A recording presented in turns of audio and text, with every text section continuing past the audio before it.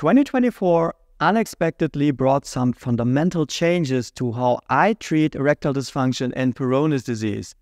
What happens right now at my office is that I am advancing more and more into combination therapy instead of just doing one thing at a time. Well, I have had this philosophy for Peyronie's disease for years, but I am applying it more and more to erectile dysfunction now. If you want to know what I do, and if you want to have a look at my latest device, follow along. My name is Stefan Buntrock, and I'm a board certified urologist and sexologist. Just in case you are wondering, I didn't get this from the airport. This is not a metal detector.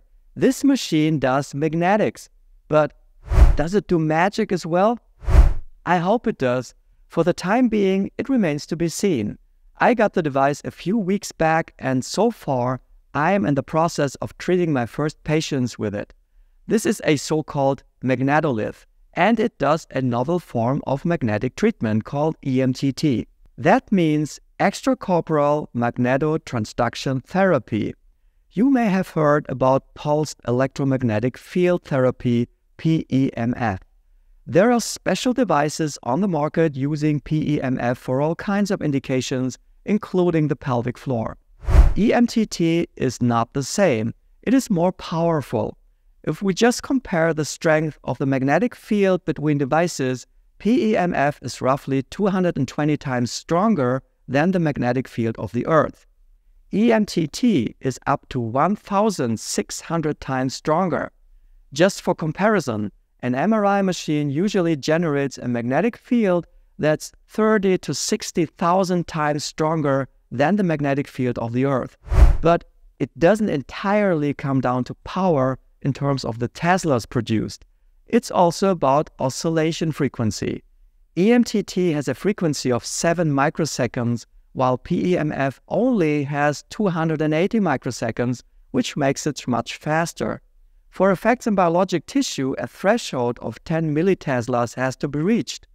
One pulse of EMTT reaches this threshold 10 times within 70 microseconds, whereas PEMF can do this only once in 280 microseconds. The electromagnetic transduction power of EMTT is much higher than that of PEMF. It's over 60 kiloteslas per second, whereas it is less than 60 kiloteslas in PEMF.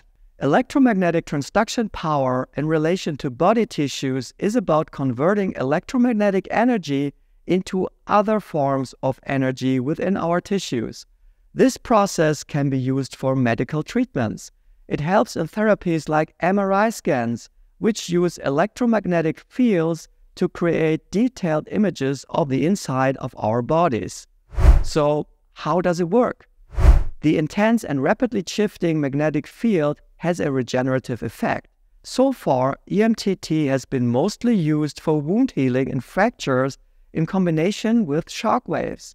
The results are really interesting. What exactly happens on a cellular level isn't quite clear at the moment. It seems to trigger the migration of stem cells. Apart from that, it seems to have an impact on the electric field of the membranes of cells. Yes, there is electricity in the membranes of cells. For example, in nerves, the voltage is minus 70 millivolts. Obviously, biochemical reactions within the cells are activated that lead to enhanced self healing of the body. Most users use EMTT in combination with low intensity shock waves. It speeds up the healing process quite a bit. Now it's the turn to apply it on erectile dysfunction and Peyronie's disease. Users report impressive results with that. The method has no known side effects and is pain free. There are only a few contraindications. I wouldn't use it on a patient with a pacemaker, for example. You know, the strong magnetic field. It's absolutely advisable to stow away credit cards and smartphones at a good distance when the machine is in use. Currently, I am combining my ESWT treatments with EMTT. In addition to that, I use platelet-rich plasma as a third ingredient. This is therapy at the cutting edge of what's possible right now. Is this standard therapy? Certainly not. As with all new therapies, it takes years and years until they find their way into the guidelines. Shockwaves have. I kind of can see PRP also being recommended in a few years. EMTT will take a little longer. Expert knowledge tells me that this is the way to go, even though science is lagging behind. The problem is that my patients have issues today and want a solution today, not in 20 years. As you can see, there are pros and cons of the approach. Since there are virtually no side effects, all of this is safe. So the worst that can happen is that the therapy is not working. Also, the therapy is costly because of the highly specialized technology involved. I gave it a lot of thought about whether I should go for it. Frankly, in the end, it came down to the choice if I wanted to be a leader in my field or if I wanted to follow the herd. I chose to lead.